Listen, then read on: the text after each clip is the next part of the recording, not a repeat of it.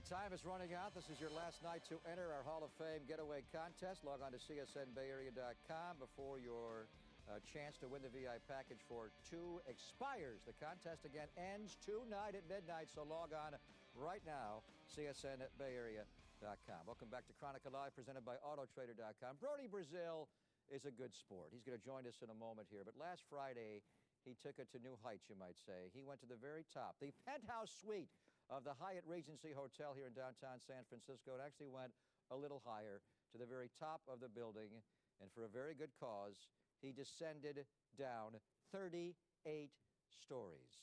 Here's Brodie's story.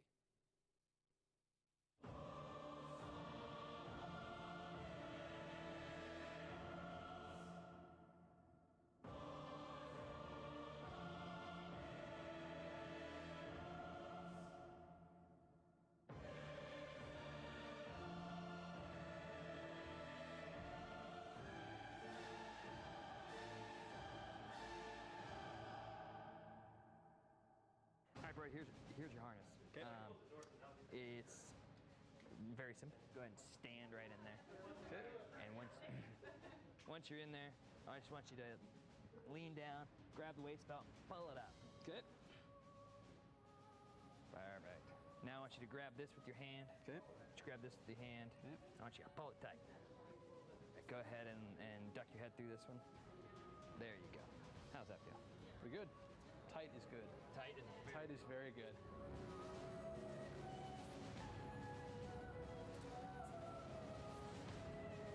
Awesome. So here's your helmet. Okay.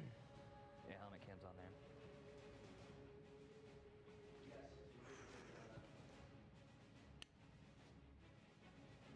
And then our rappelling device. And there we have it. Last but not least, our little ASAP. It's our backup device. Okay.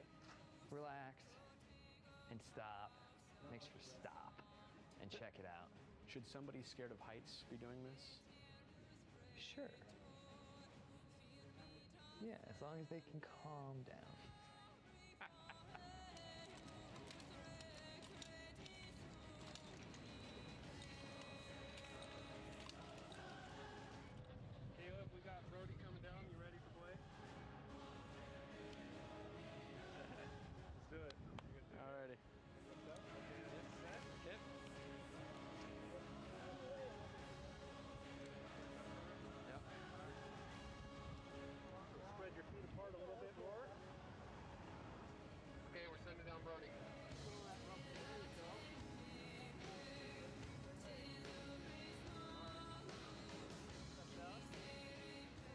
For the viewers right here.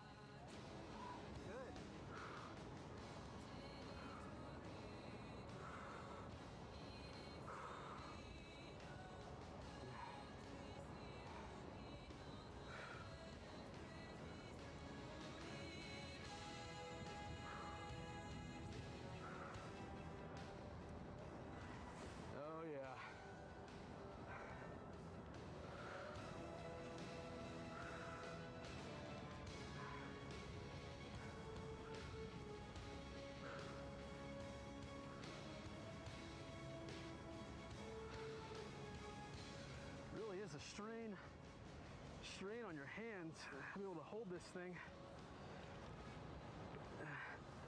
and actually stay close to the wall. A little tougher than I thought.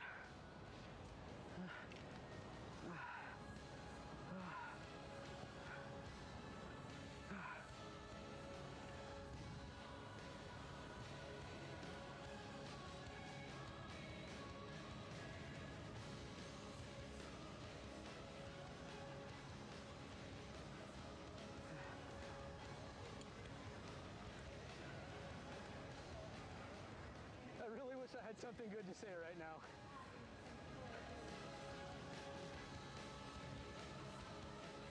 Yeah! Good job, Brodie. That's awesome. Exhausting, huh?